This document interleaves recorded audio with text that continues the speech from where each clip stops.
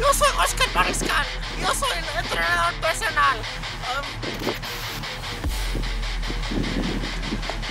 ay, eso, no te digas. Yo soy un buen, muy buen entre- entrenador. Dile, dile.